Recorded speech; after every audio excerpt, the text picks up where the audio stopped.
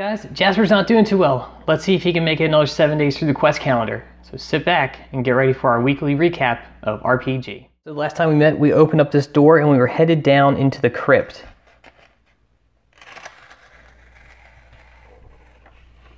So we enter the crypt and a cold darkness greets you. Your footsteps echo in the long hallway ahead. You continue onward, slowly, taking a careful step at a time. As you take your next step, the floor shifts beneath you as you step on a pressure plate. You hear a click, then dozens of arrows begin to fly to you from all the slots in the walls. We're going to try to avoid the trap by rolling a d20 plus our dexterity, and you can use the danger sense ability if you have it. So we'll come over here to the tower for our first roll of the week, and we are going to roll a d20 plus our dexterity, which for Jasper is a plus 1. So plus 1 to whatever the d20 says here.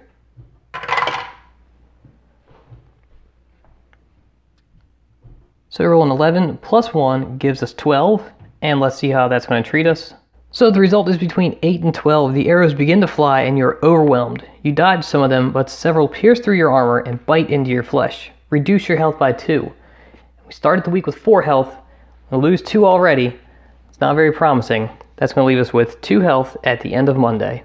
So we made it to Tuesday. We don't have very much health left. Let's see what happens today. So now that we're inside of the crypt, it is dark, eerie, and quiet. There's bound to be lots of trouble down here, but there must also be some treasure, right? So, just like the rest of the map days, we're going to start in the room with the S. We're going to try to make our way to the room with the star. We're going to read each of the rooms individually as we get there, and then we're going to determine the rest of the path that we're going to take. We're going to fly through today, and I'm going to recap you with the route that I took and what happened to me in the end of the video here. So, let's jump right to that. Alright, so starting in the room with the S, we would go directly ahead into room number two. So in room two, we found three pieces of gold, but we failed a constitution roll and lost our last two remaining health, taking us down to zero.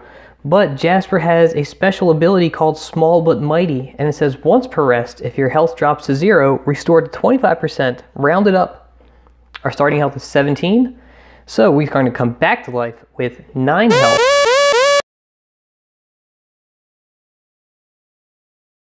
Without rolling any of the death abilities. After we left room 2, we went straight forward past rooms 5 and 3 into room number 6. In room number 6, we were attacked by a pair of skeletons, but we rolled high enough on the attack and damage to kill both of them. We left 6, went into 7. In 7, we found nothing, and then we went right into the room with the star so we can get right out of there. And we are ready to go into Wednesday. So making it out of the crypt, Let's see what happens now. So it looks like we're not out of the crypt yet. We are actually in the last room, which holds a grand set of tombs. Each tomb is topped with an elegant carving of an old lord, knight, or lady. These must have been the founders of the city of Westhaven and past rulers over Maladoria. There's bound to be some great treasure in here. We're going to investigate the room today by rolling a d20 plus our intellect, and we can use the ability investigator if we have that one. All right, so all the regular viewers are going to know that Jasper is not an investigator. If you're not a regular viewer, go ahead and subscribe to the channel, and then you can become a regular viewer. Make sure you like this video while you're down there, and then leave me a comment letting me know if you're playing along at home and how the calendar is treating you. Jasper does have a plus 2 to his intellect, so we're going to roll a d20, add plus 2 to it, and then see what we can find inside of this last room.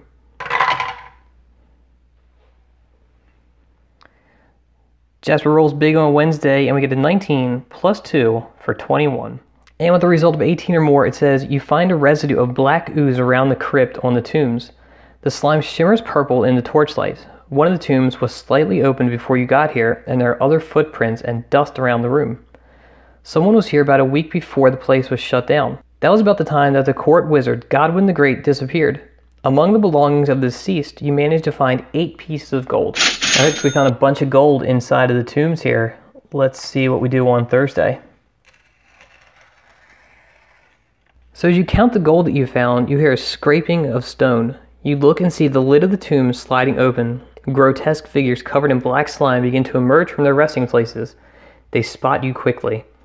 Today we're going to attack four undead creatures, and for each of them we are going to roll our attack value, and then we're going to roll our damage apply the results and see what happens. So let's get right into it as we face off against these guys. Alright, so for Jasper, we're going to roll the attack value, which is going to be a d20 plus our attack, and for him it's plus 5. And then we're to roll his damage, which is 2d6 plus 1, because we visited the blacksmith back when we were in town. So, attack on the first undead. 15 and 5 gives us a 20. And now for the damage. We get a 1 and a 2 for 3. Add 1 gives us a 4. For the second undead. We get 4 plus a 5 for a 9 on the attack. Damage. Start with a 5, add to it. A 3, which is 8 plus 1 for a total of 9. For undead number 3.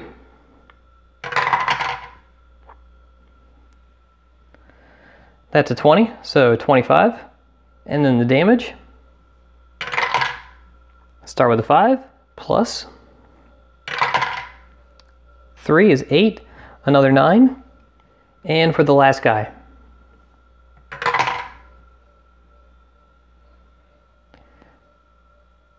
Roll 3 plus 5 is 8. And before we finish that out, I think now is about the right time to use our sense weakness. So once per rest, we can add plus 10 to our attack roll. So we are going to change that 8 to an 18 for our attack. And now we'll roll our damage. So we'll start with a 2, and we'll add in another 2 plus 1 for total of 5. All right, let's see how well Jasper did fighting here. So for undead number 1, our attack roll was a 20, which means that we hit the skeleton and we are going to wind up killing him because our damage roll was 4 or more. On to undead number 2. We only rolled a 9 for our attack, which means that we missed because we rolled less than 12 and we are going to wind up taking damage there. Our armor value currently sits at 16, which means we are going to reduce our health by 3, taking us down to 6 health. On to the third member of the undead.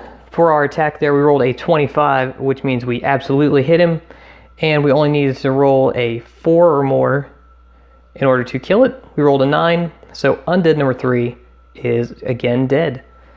On to the last member of the undead. We rolled an 18, so we definitely hit that guy also. If we hit him and we rolled a 5 or more for our damage, then that zombie dies as well. We did roll a 5, so we, today we killed 3 out of the 4 zombies. We are ready to go on to the next day. So after we battle an army of the undead, we are ready to go into Friday. Today we're going to take a moment to collect ourselves and catch our breath after defeating the skeletons and zombies that came out of the tombs and graves of the crypt. We're going to search the corpses by rolling a d20 plus our intellect. We know that Jasper's not an investigator, but if you are, you can use that ability today. So we're back to investigating today. Remember that Jasper has a plus 2 for his intellect, so we're going to add that to this d20, and then we'll see what we find.